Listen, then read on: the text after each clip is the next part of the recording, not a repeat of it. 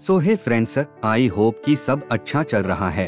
सबको happy new year तो इस साल कई चीज़ें होने वाली है। और मार्वल का फेस फाइव भी। और जिसकी पहली मूवी होगी Antman and the Wasp Quantumania तो चलो उस पे कुछ बात करते हैं एंटमैन थ्री के रिलीज़ होने के साथ। साथ कुछ सवाल निकल कर आने लगे हैं कि क्या शैनची की टेन रिंग्स और मिस मार्बल की बैंगल रिंग में केन की पावर है? चलो एक बार के लिए मान लें कि केन को मल्टीवर्स को समाप्त करने या अपनी नई टाइमलाइन बनाने के लिए आवश्यक मार्वल मैकफिन मिलता है। देखा जाए तो कॉमिक्स में, मार्वल की 2010 की सीक्रेट वॉर की घटना ने मार्वल कॉमिक्स यूनिवर्स की सभी वास्तविकताओं को बड़े पैमाने पर घुसपैठ में नष्ट कर दिया।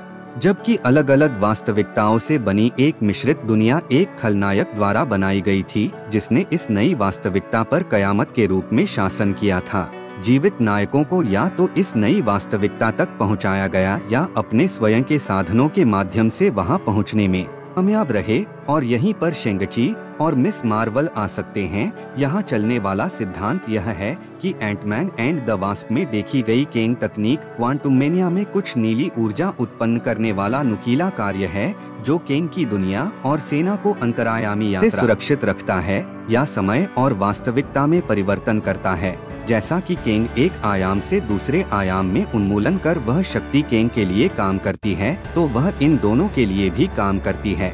यहाँ अनुमान यह है कि किंग समय और वास्तविकताओं के पार यात्रा की अपनी अस्थायी शक्तियों के लिए जिस ऊर्जा स्रोत का उपयोग करता है वही शेंगची के टेन रिंग्स और मिस मार्बल की चूड़ी चैनलिंग कर रहे हैं। यह समझाएगा कि क्यों शेंगची के टेन रिंग्स एक पोर्टल को दूसरे अंधेरे पोर्टल में खोलने में सक्षम थे। कमाला खान अपने परिवार की महाशक्तियों की उत्पत्ति के चक्र को पूरा करने के लिए समय में वापस यात्रा करने में सक्षम थी। गई थी ना अपनी नानी से मिलने। यहाँ गणित यह है कि जो भी शेंगची और मिस मार्बल के साथ है, उसी समय केंग वास्तविकताओं के बड़े पैमाने पर आक्रमण का कारण बनता है। टेन रिंग्स और मिस मार्बल की चूड़ी बैंगल थोड़ी अतिरिक्त अटकलें हो सकती है कि ये वस्तुएँ इन्फिनिटी स्टोन्स की तरह होंगी और क्वांटुमेनिया की घटनाओं के सामने आने के बाद केंग ने उन्हें अपनी शक्ति का उपयोग करने के लिए कहा हो सकता है। किसी भी तरह से, सट्टेबाजी का पैसा किसी भी मार्बल नायक पर है जो एक परिपत्र बैंड या नीली ऊर्जा का उत्पादन करता है।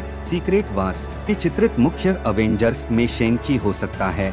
क्योंकि लॉन्डे का पहले ही अवेंजर्स सर्कल में स्वागत किया जा चुका है हल्क भाई वांग कैप्टन मार्वल सबसे सेटिंग कर ली है और कमाला खान कैप्टन मार्वल के साथ द मार्वल्स में इंटरस्टेलर एडवेंचर करने वाली हैं, इसलिए उन दोनों के पास पहले से ही केन के बैटल वर्ल्ड में एक प्रभावशाली दस्ते को लाने के लिए पर्याप्त संबंध हैं। खैर, वीडियो खत्म एंड जाते हुए वो लाल रंग का बटन दबा देना प्लीज़